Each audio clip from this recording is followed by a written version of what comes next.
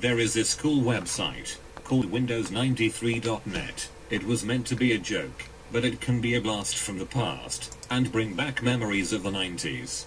There is also this cool website called atom.smasher.org where you can make your own XP or 95 Windows error.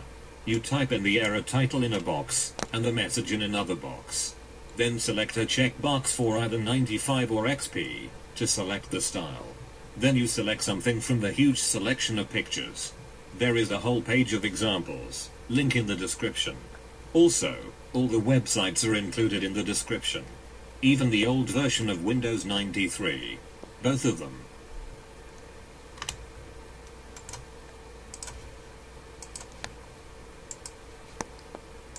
There is also a random number generator on random.org. Also, try going to google.com slash teapot. Also, if you are on Chrome, Firefox, or Microsoft Edge, right-click on the page, and click Inspect. If you have a newer mouse for Mac, do Control plus click to right-click. Where you click Inspect, you can mess around with the code. So yeah, that's cool. Thanks for watching. Make sure to subscribe and leave a like and ring that bell for my free gift. No JK I would not do that. But subscribe anyway for more content.